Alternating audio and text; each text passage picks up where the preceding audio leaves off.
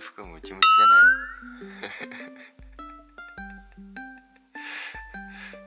い？ちっちゃかったかな？サイズを測る前に買ったやつ。そうあの前回の動画で、まあ、あのサイズを測ったんですけどこのサイズを測る前に買った服なんですけどやっぱり大体で買うとこうなっちゃうんだよね。いやこれでしょって言って買ったけど。多分なんだろうね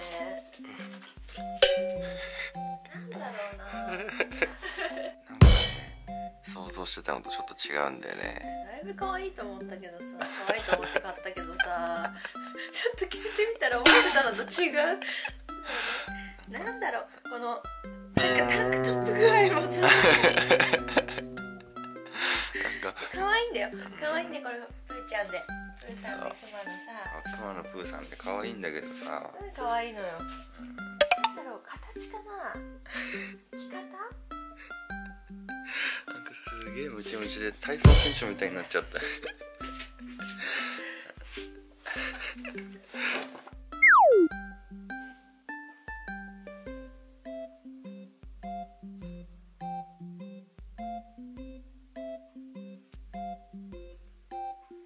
っとプロレスラーみたいじゃない？ち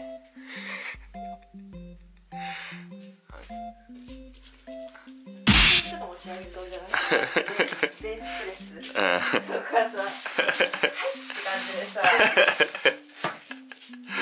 プロレスラーみたいだよハム。ママ行くって。ママ行くって。ハムお見送りしよあ行こう。行くよ。行ってくるよ。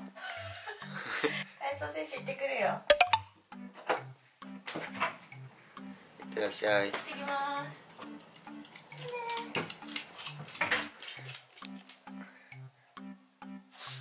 はい行っちゃったね。体操選手かプロレスラーみたいだからハムハム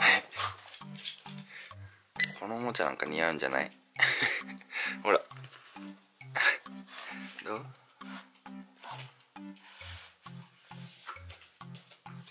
ほらすごい重いの持ち上げてるみたいだよハム。ハム。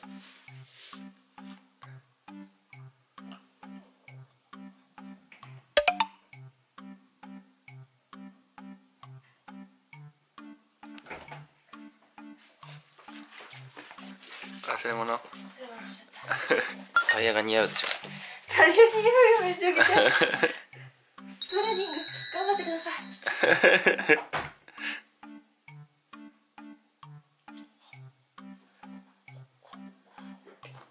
あのトレーニングしよう。うんよし。ふっ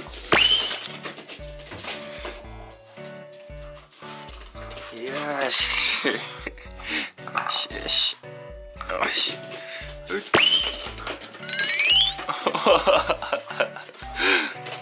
よし。あちょうだいちょうだい待ち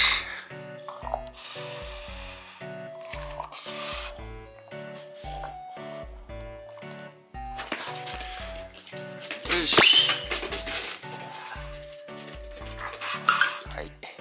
そういうことで皆さんも服を買う時はサイズに気をつけましょう。じゃあ皆さん今日はこの辺でチャンネル登録高評価お願いします。またね